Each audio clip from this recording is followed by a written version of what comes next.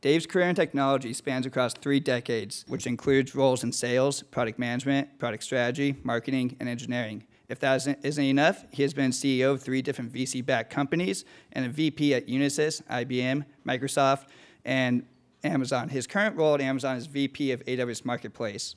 In his current role um, at AWS Marketplace, Dave is at the forefront of cloud computing. And without stealing too much of his thunder, AWS Marketplace is changing the way enterprises procure and consume software. I had the pleasure to work with Dave last summer during my internship at Amazon. During my second week, I had a one on one meeting with Dave to discuss my project. The meeting was in the evening, so naturally, Dave poured me a glass of scotch. As we discussed my project and what Dave wanted me to achieve throughout summer, I witnessed how passionate Dave was about moving technology forward to improve the customer experience and how passionate he was about scotch. I left the meeting with a long to do list and a nice buzz. Dave is a humble and hu- humorous leader, and I'm excited to welcome him here today. So, without further ado, Dave McCann. Thanks a lot. All right, good morning. good morning. Hopefully, you can understand my accent. It's Scottish, it is a form of English. Um, and I'll tell you a funny joke about that in a minute.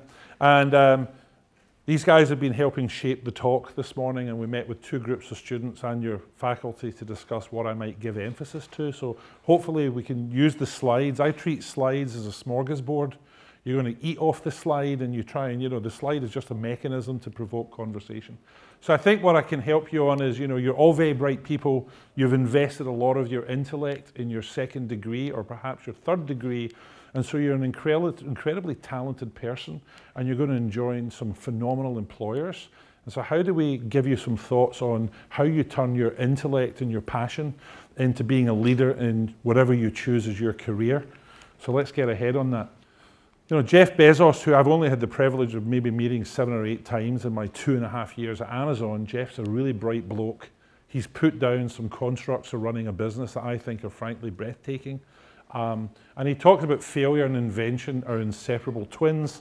When I first came to Silicon Valley in 1988, one of my bosses said, fail faster, but learn from your mistakes and don't make the same mistake three times.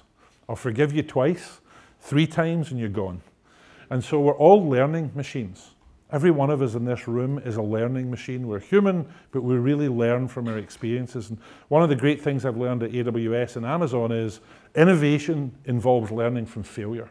You never get it right first time. And so if you're faint-hearted and you think you're going to get it right first time, you're completely wrong. You know, most invention comes from a lot of serial attempts, and you learn from every attempt and mistake. Um, these guys actually wanted to have me talk about me. I don't particularly like that. I'd rather get on to cloud. But the, the question might be, how did I get where I am? And is there anything you can learn from me? I'm not sure you want to learn much from me. Um, I'm Scottish. We only have nine universities in Scotland. Scotland's a really small country. It's the same size as South Carolina. So I measure everything in America in South Carolinas. Like California is five South Carolinas, right? Um, and Scotland is one, South Carolina. And I went to college thinking I'd been an interpreter, studying French, Spanish, and Russian. And after about half a semester, I really didn't like Old French. And I thought, all right, I'm in the wrong course. And I flipped to economics and history. And when I graduated, there weren't enough software programmers.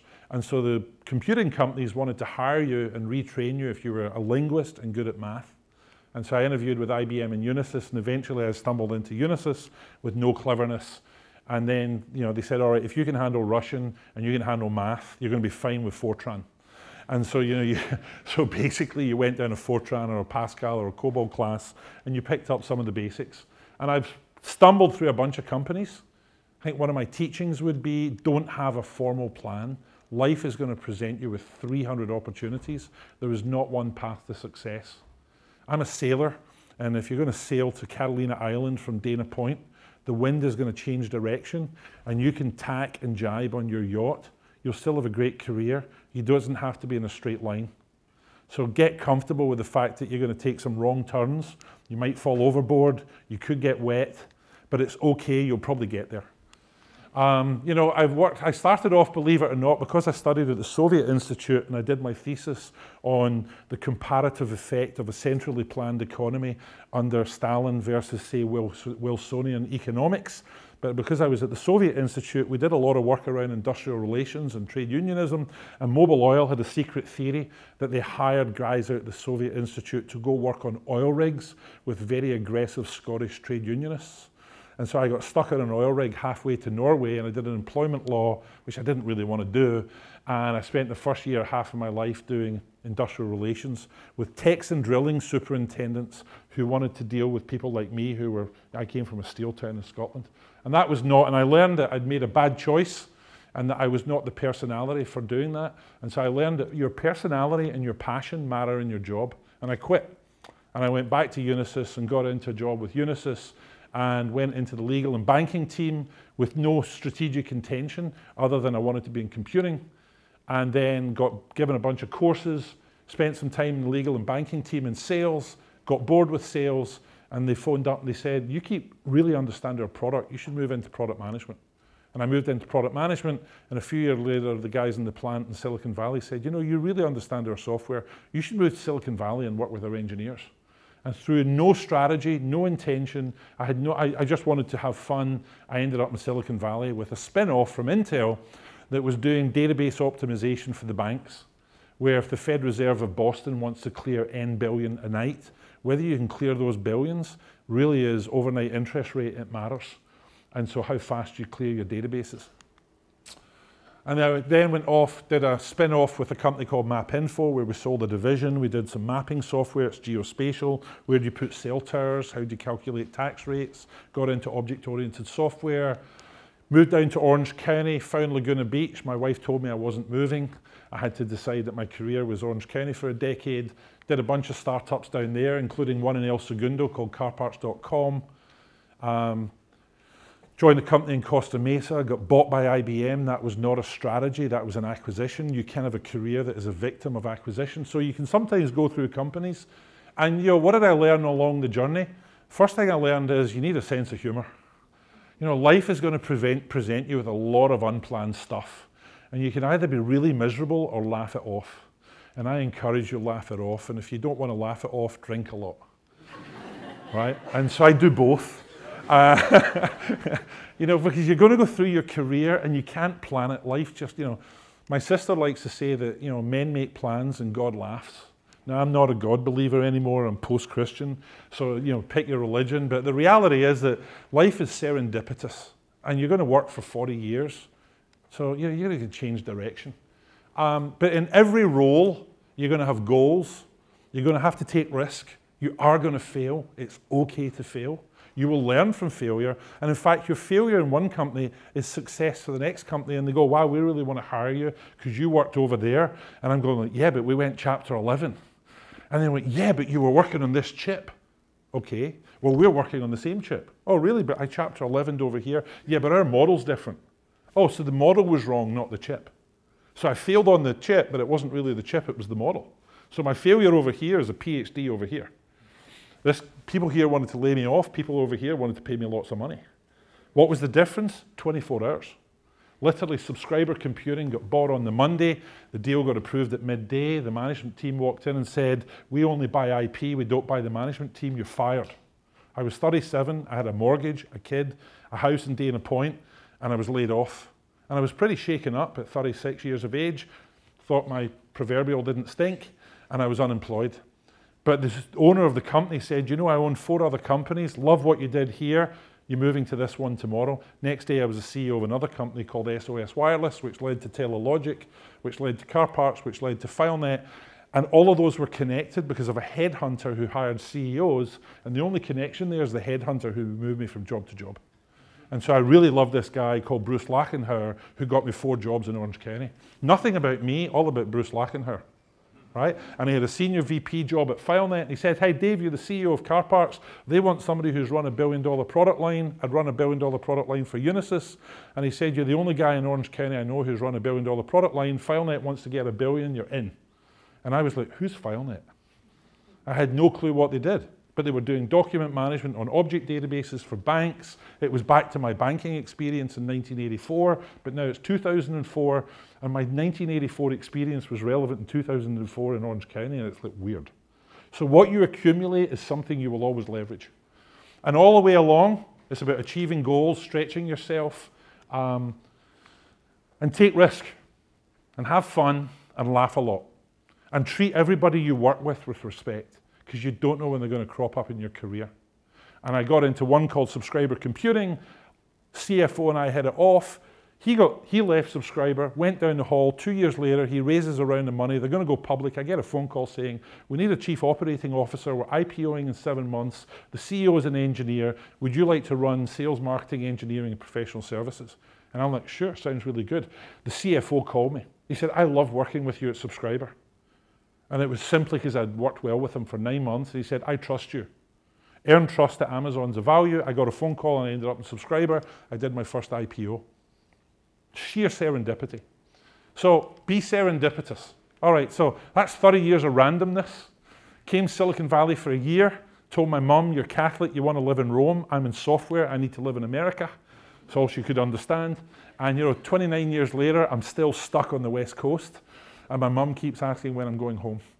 All right, so, and then I moved from Silicon Valley to Southern California, and then, you know, Seattle's become a, a hotbed. I got headhunted out of IBM. I went to Seattle, and in Seattle, it's all about Microsoft and Amazon. And I did a startup, fell out with the PE fund, got headhunted into Microsoft, didn't like Microsoft, did another startup, sold that, made a decent amount of money, but I still need to work.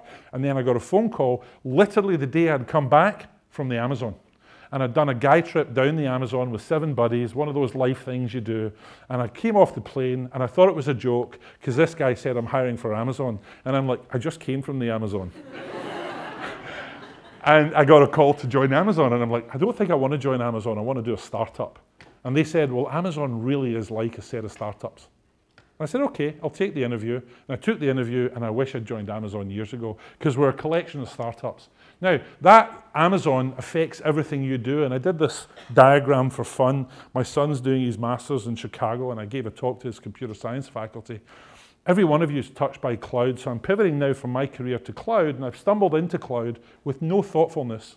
And in cloud, you know, your burgers, your movies, how you watch your baseball experience, your Kaplan education, your credit card, your Coca Cola, your Spotify, all runs on AWS. So your entire digital experience as a consumer is running on AWS cloud. Right? So Spotify runs 100% on AWS. Um, you know, I was just at McDonald's. They're moving a whole bunch of their consumer experience to AWS. They also run some on Azure. Um, Netflix was built on AWS. I was with the CTO last Tuesday night of Netflix. All the visualization of the baseball runs on AWS. It uses, you know, a whole bunch of large computing IoT technologies around baseball. Um, Capital One's doing some really unusual things in credit card. Coca-Cola in North America right now is closing a data center. I, I, deal with Ann Carver, the CIO, and she's moving her entire data center onto AWS. Everything you touch is going to cloud. So no matter whether you go into banking, utilities, retail, healthcare, cloud computing is an economic disruptor and it's doing some things that are bizarre and unusual. And you know, we're living in a world that everything is software. So I encourage you to understand software. Doesn't mean you need to be a computer programmer, but you need to understand systems and how systems are transforming supply chains. So every supply chain in the industry, and I know as part of your MBA you're doing the whole supply chain issue, I'm in the supply chain of software. Global spend on software. Anybody know how much the global spend on software is? What's the global spend on IT? Anybody know? What's the GDP of the planet? Okay, GDP of the planet, according to The Economist, is 72 trillion.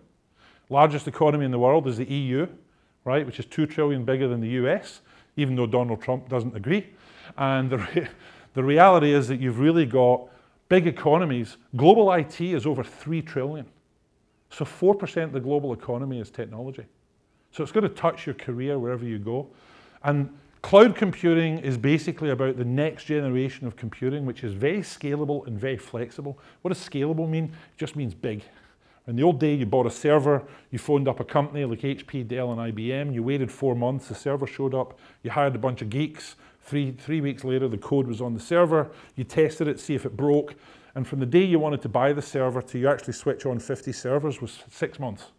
You couldn't start writing code, then you built the app, took you nine months. So from concept to execution of idea of an application at Bank of America was 15 months. That's five quarters.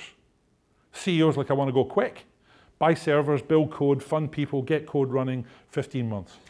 There's a data warehousing platform that everybody uses to close the quarter called Teradata. Teradata, it takes you six months to order a $10 million machine. In the cloud, Brad, who works here, one of your fellow graduates on my team, we write the Teradata software in a JSON description tool. It's a JavaScript notation tool. We write a description in Teradata, and where Coca-Cola used to wait nine months to get a Teradata appliance, you can switch on Teradata data warehousing in 48 minutes and we run software in 14 regions around the world. You can go buy Teradata, run in Germany, 48 minutes later, it's running in Frankfurt. Run it in Korea. So we've gone from nine months of procurement to 48 minutes of deployment. I can start doing things for my bank nine months sooner. That's transformational. So big companies are going to the cloud for what they call agility. They want to reduce their costs. They can't predict stuff, so you don't need to. Just use what you need. Um, they want lots of cool stuff. They want to go global in minutes because we're in a global economy, and that 72 trillion economy is very global. And so this is why people are going to the cloud, whether it's, by the way, Amazon, Azure, IBM, I've worked for all three, so Microsoft, IBM, Amazon, then you might have Google, and then you could have NTT, Docomo, or T-Mobile, or somebody else, or Alibaba in China. So that's kind of cloud computing. Cloud computing will touch you as a career. Why do you care? Because whatever your business process is that you choose to be in, Mortgage and card, your longest consumer relationship is a mortgage, right? You have a 30 year mortgage, you have a 20 year life policy. So the people who actually have the longest running data on you are the government, because you're going to pay tax for your life. So the government, the mortgage companies, and the insurance companies have what we call a long running transaction. Buy mortgage in 1987, still own it in 2017. That's a 30 year transaction. You exist in that database for 30 years. It came off a mainframe, it went client server, it went into the cloud, and your data is still up there, and your PII, your information's up there. So whether you do mortgage, credit card trading, web design, you do big data, we now keep data on everything, uh, it's an enterprise back office, you're doing supply chain with SAP, you need to understand cloud computing. Because as a business person, you're going to use it as a competitive weapon, and we all live in a capitalist economy. And technology is just a tool. But if you don't understand the hammer and the nail, you're not going to build a house. So you can be very bright, but you need to understand it. And our customers are on a journey. This is an official slide. I literally was giving this talk last week at um, Discover Card in Chicago or Nike. I was having dinner with the VP of architecture at Nike. You know, Nike right now is spinning up development and test. This is a talk they gave publicly, so I can talk about it.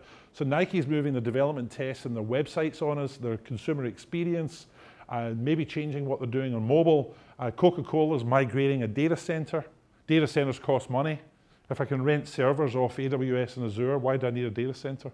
Data centers are closing down. GE has announced they're closing 40% of their data centers, right? And just rent the stuff. It's just software.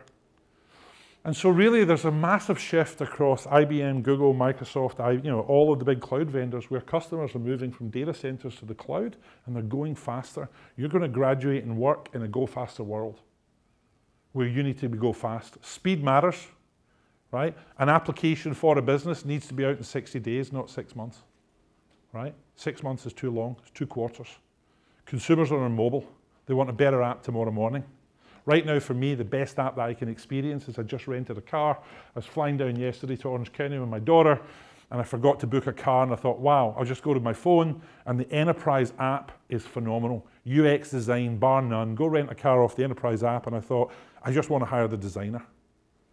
It was pick location, choose car, pick up the last car I rented in Chicago last week, same model, thank you very much. Use card, here's my account number, click, click, click, click, click, card booked, thank you. What am I? A happy consumer, and they got 300 bucks off me. Right? That's what the world's about. So we're growing fast. AWS is growing fast. Cloud is growing fast. Millions of customers. We work with a bunch of startups. You know, my son's into Reddit, runs on AWS. It's owned by Condé Nast. It's just content publication, right? And it's on the mobile phone, and we've all got mobile phones. Believe it or not, I actually worked for the guy who built the first mobile phone, Marty Cooper, VP of Engineering at Motorola. You know, you talk to Marty, he lives down in uh, Del Mar. He didn't anticipate that there'd be billions of phones. He switched on the first phone, it's on his mantelpiece, he owns the patent on the first cell phone in America, switched on in 1982. And great guy. So now everybody designs for the cloud. Twilio, you who know they are, your Pinterest, Slack. There's just everybody's a software company. How many software companies are funded every year in North America? 800. So, you know, venture capital funds about 800 new companies a year. How many A round companies succeed? Less than one in 10. Nine out of 10 A round companies never survive. You go through your B, you go through your C, you don't get out. If you don't get to 100 million, you just get bought up by private equity fund. Little guys get bought by big guys. But VC capital, America is the capital of software. It's why we have such a phenomenal economy. By the way, this is the year that India passes the US.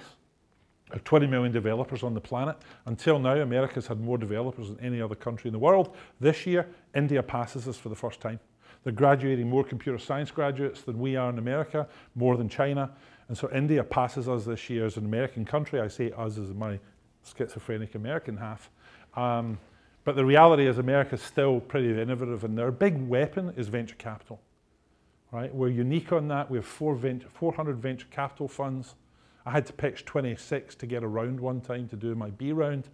And venture capital is a unique American asset. Germany and Britain don't have it. The banks are too conservative.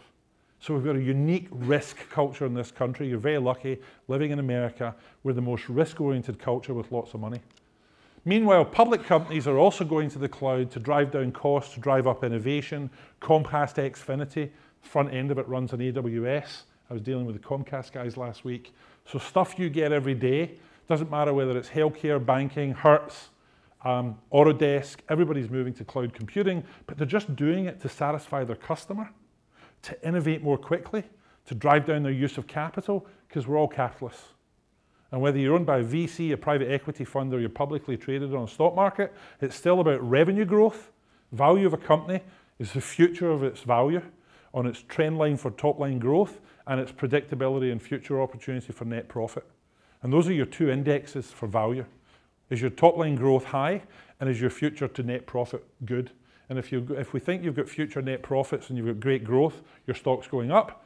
And if either of those don't, you're new, you, you got laid off like the CEO of Ford this morning, right? Wasn't driving the top line, certainly wasn't driving the bottom line. And really, we're all just hamsters on a wheel, right? And CEOs are just hamsters on a playbook, and the playbook is top line growth, growth and net profit with innovation. And that's what you'll be doing. And even government is getting into cloud um, all the way to the intelligence agencies. Brad and I are involved in a couple of projects where we run a marketplace, we run a software store for the intelligence agencies. Why? Because they want to get the code running faster for the next CIA project. They call it missions. So this was a slide from Condé Nast. So here's the guys that own Reddit, and the VP of infrastructure at Condé Nast was discussing why did I go to cloud in front of a room, and Condé Nast said we need to go to cloud because we want to get content to market faster it's hard to try new things on our old platforms. Our infrastructure is static and it involves a lot of capital. And the publishing industry is under incredible transformation and everything's going digital. And so the VP at Condé Nast said, I need to be in the cloud. So all the media companies are running to cloud. So if you're heading into media, it's all about cloud. Video rendering for TV, content publishing to the phone, paper's going to die, newspapers are just going to become digital, News UK is on it, Everybody's on cloud. So this was the Condé Nast. We need to go to cloud for creativity, productivity, agility, and flexibility. So any industry you touch is going to be touched by cloud computing. So what do we do just for fun? What's my job and how might you relate to us? So Brad graduated here four years ago. We hire him into Marketplace. Marketplace is a supply chain disruptor for a $500 billion software industry. And 40% of the world's software is bought by the top 10,000 companies. Think of the Fortune 100 right? So whether you're Coca-Cola or GE, any big company, huge budgets. Banks spend 8% of revenue in IT. 8%. Retailers don't have much money. They spend 1% of revenue in IT. Pharma spends about 4% of revenue in IT. So you run into somebody and you go, okay, so you're a $50 billion company, you're in the pharma industry, therefore you spend $2 billion in IT. 2 billion. 60% of it's people. Okay, that's 1.2 billion. The other 40% is infrastructure, data, and software. So you can parse the spending of a company and walk in and go, okay, so if you're a $100 billion company and you're in retail, you have a $1 billion budget. Or if you're a $50 billion bank, you've got a $2 billion investment, and it's people, and it's technology, and it's innovation. So we supply the software store so they can switch the software on in minutes. Amazon and Azure are fighting over building what we call platform as a service. Platform as a service is just lots of hammers and nails, lots of tools for geeks right? And is it a database tool? Is it a BI tool? Is it an Internet of Things tool? What's the hammer and the nail? You need to understand what does cloud software look like. You don't need to be able to code it, but any company you go run and you're bright and you're an exec, you're going to be using geeks.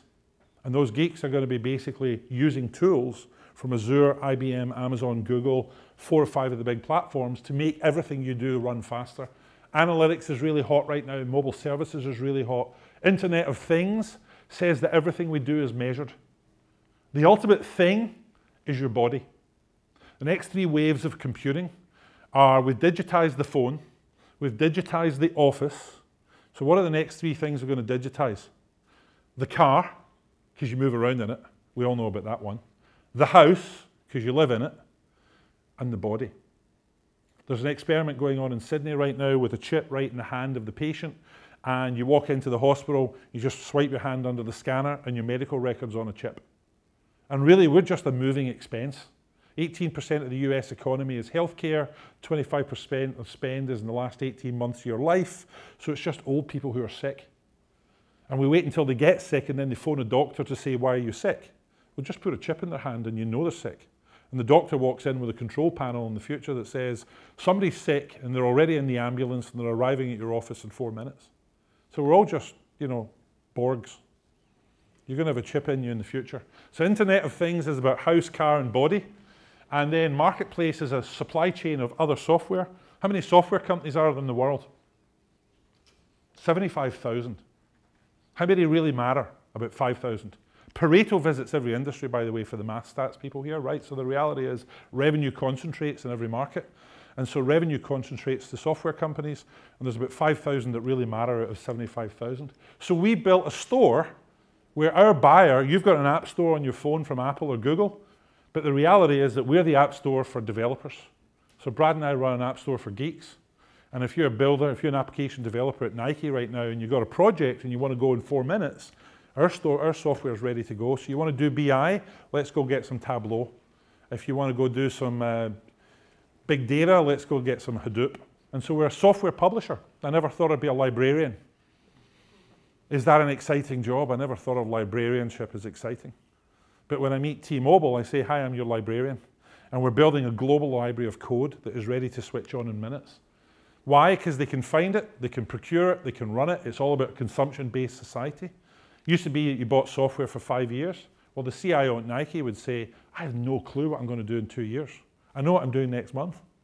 I don't want to buy software, I just want to rent it for the week. And when my project's over, throw it away. So it's disposable. So we're moving very, you know this, with Uber and with cars. We're moving into the consumption society where everything's a contract. Brad's actually on the leading edge of my team. He runs our contract API. We're rewriting how you do contracts. Point click contract.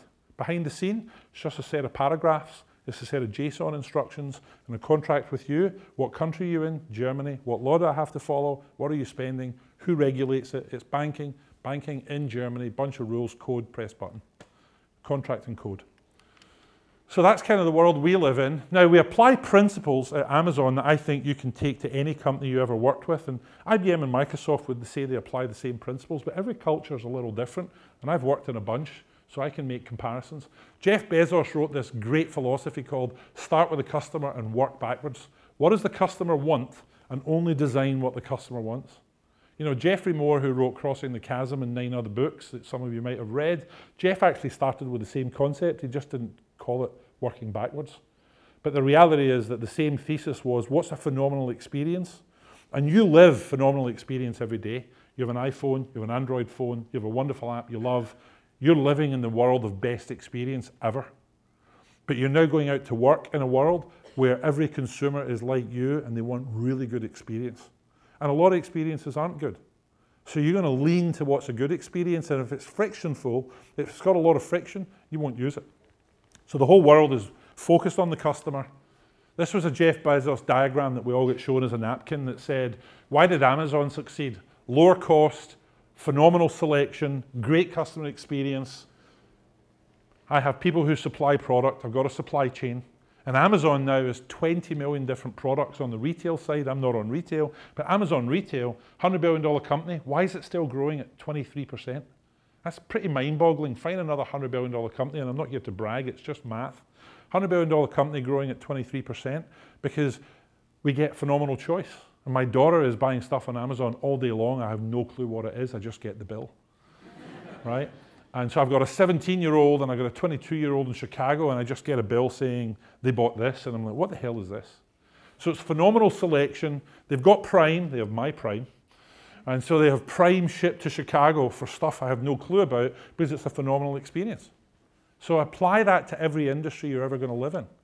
And whatever industry you're in, you want world experience. So customer obsession, that's what we do. We obsess about the customer. When I was at Microsoft, we obsessed about the competition. I didn't like it.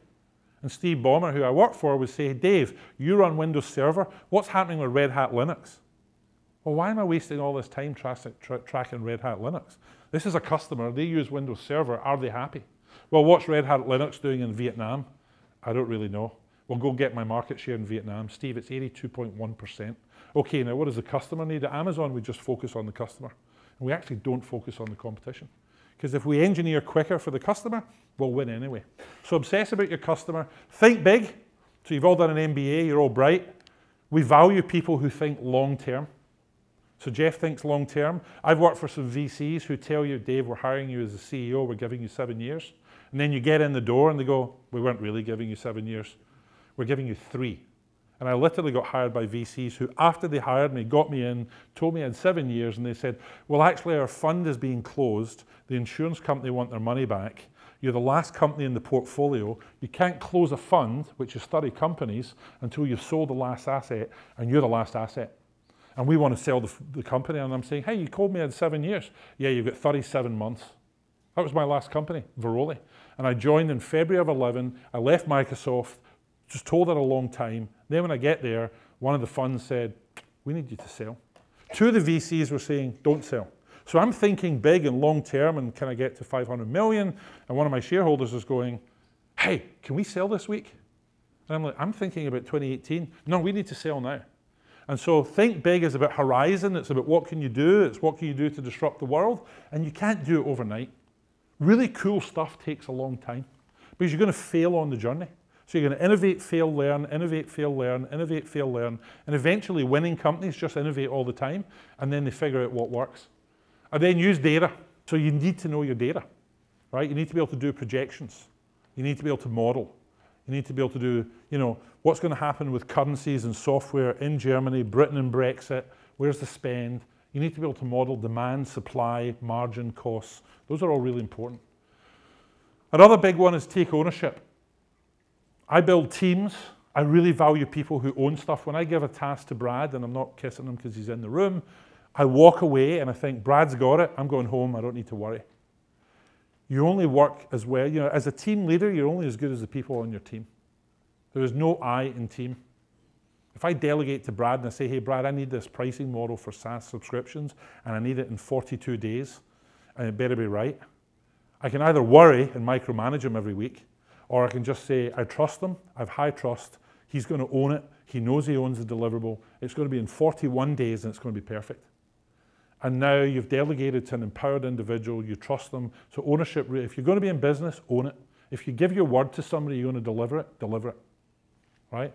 Don't promise it and fail. So how does all that work for your career? And as I think about the breadth of intellect in this room, and you're probably going to pick 40 careers, and I only know about 20 of them. So I can't give every one of you advice, but I've had a lot of group functions and I've, you know, I've got several hundred people working for me right now.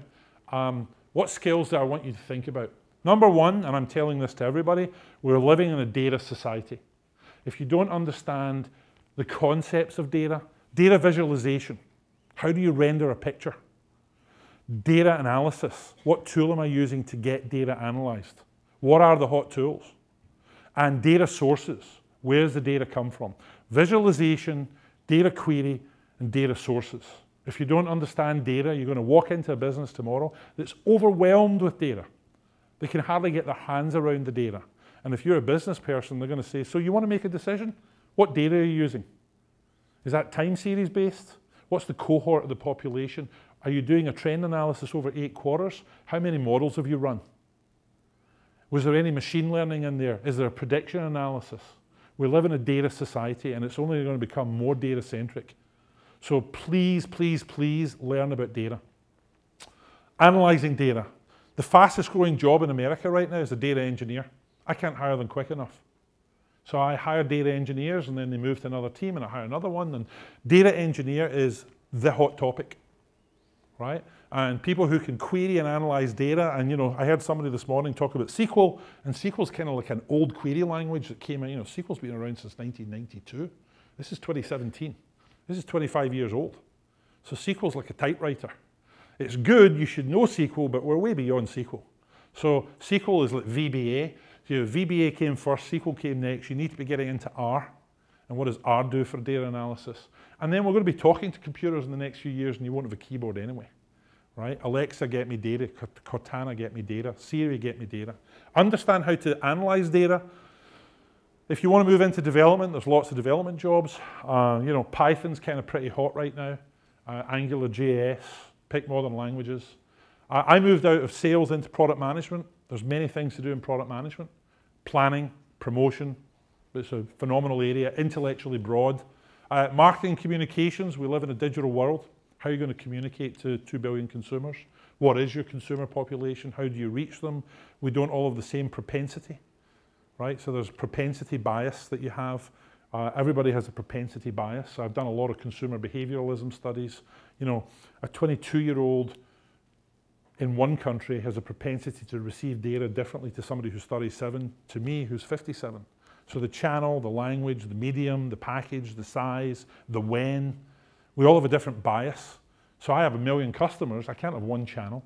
I have a multi-channel reach to maybe 40 segments of my consumer base. So marketing communications big, and then we're capitalists in most countries. So finance and accounting isn't going away, and you need to be very expert on what's happening with finance and accounting. So there's a lot of careers at Amazon. I know some of you are coming here, uh, but whether it's Amazon, Microsoft, IBM, or anything else, there's just lots of career paths. You have to have a sense of humor, you have to have an incredible work rate, and you really want to have earned trust. You want to be inquisitive. I tell my new hires there is no bad question, there is no embarrassing question. A question is an opportunity to learn, and we're all learning. I'm going to be learning for the rest of our lives. I'm 57. Stuff I learned three years ago is obsolete. If I don't walk into a meeting humble and inquisitive, I'm wasting that, that, that meeting. Because I need to leave that meeting better informed, equally humble, and I know a little more. But tomorrow I need to learn again. So we're all learning hamsters. Welcome to the wheel. You're on the wheel of life. We're all hamsters. But you have to have fun learning. So find something that you want to be passionate about. Because if you're not passionate about what you're learning, don't do the job right? I mean, I did not want to learn about oil rigs. And I did not want to be a hamster on an oil rig for 30 years. I love software, so I'll learn all day long. These are our leadership principles. I think Amazon's done some pretty cool stuff. How do you create a handbook for a company that really works? Jeff seems to have created some very simple principles. We call them guardrails. So if you believe that we have a, good, a helpful man theory, Assume everybody's a good person. Assume they're reasonably well intentioned. How do you take an intellect, point it in the right direction, get out of the way, and let that person succeed? I don't want to micromanage you. I've got hundreds of people. So you want them to be customer obsessed. You want to trust them. When they own it, they'll deliver it. We're all trying to simplify. Complex is bad. Complex loses money. We hope you're building good judgment. We certainly want you to hire people. We don't want you to let stuff out the door that's a bad experience. We want you to think strategically and long term Bias for action, a week is a long time. At IBM, it would take a year to get something decided. At Amazon, our culture is you've got a week. That's it, not two weeks. Come back in a week. Learn and be curious. I mean, you have to be curious for your life. You're now incredibly proven learners. You are the pinnacle of I've got an MBA, I went to an incredibly good university, but I'm just hiring a raw talent. I'm hiring a raw talent that could be working for 35 years, and you're going to do nine jobs. You're just going to learn nine different things. So you're going to be curious for the rest of your life. I want to know that you're going to be diving deep and knowing your detail. If I say to somebody, Do you know the answer to that question? Don't bullshit me. You'll have read five levels down, you'll know, and I'll trust you. And then sometimes you have to argue. We call it have backbone. Now, you argue politely, you attack the process, not the person. You don't become abrasive, you don't become hostile. You have an intellectual dispute, and then you agree on the goal and you move forward. And ultimately, business is about delivering results. In a capitalist economy, it's earnings per share and growth for the shareholder. And your duties are to your customer first, right? Your employees second, and your shareholders third. You can have arguments about that, but if you don't have customers, the shareholders don't exist. If you don't have employees, the shareholders won't get a return. So as a CEO, you really have to wrestle with who's my duty to, and I think it's customer first, employee second, shareholder third. And when you're paying attention to your shareholder and you screw your customers, you end up like United Airlines, dragging people off planes, right? Great shareholder result, not really. So make sure you're delivering the right results, and that's kind of my thoughts on how you succeed. Please reward me with at least three questions, or else I'm going to go home depressed because it meant either you were really bored or you didn't understand a word I said, which might be both. Can I get three questions as a reward? What are you seeing in the difference between the cultures of South Orange County, where I live as well, versus Silicon Valley versus Seattle, in terms of the young people joining, the mid-career people joining? Okay, really interesting question. Um, you know, first of all, America is an incredibly diverse place. Uh, so, you know, South Orange County, I lived in Laguna Beach. I ran a company in San Juan Capistrano, El Segundo, and Irvine. Um, South Orange, California is diverse. So or, the same, there's, there's similar people in Orange County to Silicon Valley. Now, Silicon Valley, Santa Clara County has a million engineers. So Santa Clara is way more international. So there's a lot more international diversity in Santa Clara than there is in Orange County. Um, there's not enough capital in Orange County, so the problem in Orange County that I quit and left was there's only nine venture capital funds in Southern California. VCs do not like to fly to board meetings. The average VC partner theory is I can do seven boards. I want to drive to my board meetings. I do five board meetings a year, seven companies is 35 board meetings, and I can't fly to 35 boards, so therefore I drive to my boards. So there's 300 venture capital firms on Sand Hill Road, and there's nine in Southern Cal, and they're split between LA, Irvine, and, and, San Diego. So getting a set of VCs that will fund you is a pain in the ass. So the problem with Southern Cal is lack, lack of capital. It's not lack of bright people. Silicon Valley, too many VCs with too many engineers and no loyalty. So engineers quit jobs after nine months. I don't like to hire people in Silicon Valley. Seattle, incredibly competitive between IBM, uh, sorry, between Microsoft and Amazon and now Apple and Salesforce are coming in. So now I've got too much competition for engineers, so I'm going to Vancouver, South Africa. Uh, I just opened up a team in Austin, so it's about competition for intellect. So equally good people, different macroeconomic factors. Lack of capital, oversupply of capital, too much comp competition for engineers. Answer the question? Good answer. Next one.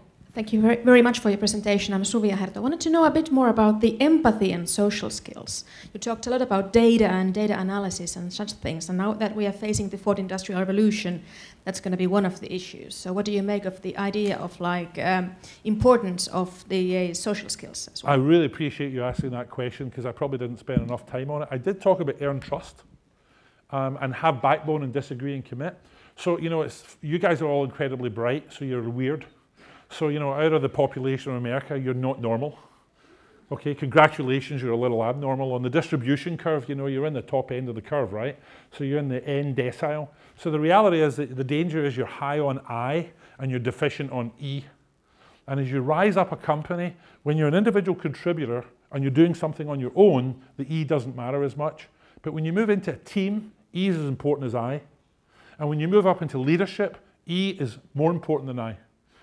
Right? You have to have enough eye that you don't mean, demotivate your people and they go, my boss isn't very smart. On the other hand, if you've got no empathy, you can't motivate people. And you're going to resolve tensions with your peers. And the biggest skill in business when you move into middle and senior management is that you don't aggravate all your peers, and that is E. And so as you move up the ranks, what causes people to fail at the director and VP level is a lack of empathy. So we have to work on the human skills, and we have to value it in the metrics we design into the business. And so we have to have a language about it and you have to have a conversation about it. And most companies have an IE index model. And whether it's the GE Jack Welch, that's kind of going out of history, 2070 10's gone. which used to be the, you know, the Jack Welch model, that's gone. Now we're into a post-Jack Welch world where we're trying to redesign compensation systems, goal-setting systems, the language. Amazon just simplified our appraisal tool. I feel it's a little oversimplistic, but we're trying to change the language of reward and what are the right behaviors you want. But empathy is critical in a big company and a small company. Treat people well throughout life. You'll never be a bad outcome if you treat people well. Good question. Thank you. Quick question around as things become more digitized and more data is being circulated, can you talk about from the consumer standpoint the trade-off between security of what I want protected my own and versus a company knowing that versus the value in giving up that data and getting insights or improvements from the company? Wow. Okay, that's that, that's a talk on its own. so uh, I'd be happy to come back and spend an hour and a half on that. Um, America is one of 205 countries in the world. We do not do well on information privacy. So if you stack rank the companies and countries in the world, I used to run compliance for IBM, so I have data on this. You know, Germany is country number one for information privacy. America ranks about number 35. Canadians do not want their data in America. We have this weird law that was passed in 1930 called the Law of Discovery. I ran a electronic evidence company where you know I can go to court and I want to get Brad's email and I want to sue him. I was involved in the lawsuit between Intel and AMD its biggest lawsuit ever over I, I, IP, and 100 million emails were recovered. So I can go to court with a judge in a federal court and say, I want the CEO's email. And in America, the company says, sure, here it is. In Germany, they can't do that. You actually have to go to the CEO, and the email belongs to the person.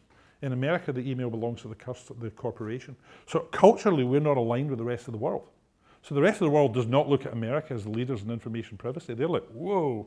So the reality is you can't have a homogenous answer. So data privacy, there's a new law coming out in Europe next year called GDPR, kicks in on the 28th of May. And if you run an e-commerce site, you have to be able to give the consumer everything back. And if I keep data on you, next year on the 28th of May in Europe, it says, I want to know what data you're keeping on me, and I have rights to tell you to take it down. American companies don't like that. So we're in a culture clash between Europe and America, and it's going to play out across the world's economies, and the OECD is the top 30 economies. So the reality is it's going to play out by vertical industry because they're all regulated differently. So it's a Rubik cube of vertical industry, country, power of supplier, power of consumer, and culture. It's fun, fun paper. Question? Uh, this is a very general question, but what advice would you give to a small team of a big data startup that's uh, in the process of getting offers from like accelerators or VCs and where to go and what the advantages of an accelerator versus an early seed investment would do for that kind of company. So get my email and I'll give you a better answer than I can in 30 seconds because I can't give you good service. The answer is, first of all, have a customer. If you're designing in a theory, don't bother. Get a customer, find a use case. Find a customer, find multiple customers for the same use case so you're actually coding the same thing. And have you got something that's compelling and has economic value to the buyer? And can you prove it repeatedly? And if you can prove that you've repeatedly delivered compelling value to the buyer, you will raise as much money as you want. If you have a concept in a lab with no customers, nobody will give you money. And then when you take angel money, be careful who they are because all money is attached to a person, and a lot of people are not bright. So you can get their money, but you regret the relationship. And I did one company in Orange County where it was attached to a bunch of people who were clueless, and I got the five million, and I regretted it. So money is attached to people. Be attached to intellects you want to have a relationship with because you work for the money. And your, your freedom is delivery of compelling value. The source of capital, all capital is a contract. You just have to know how soon you're going to get screwed.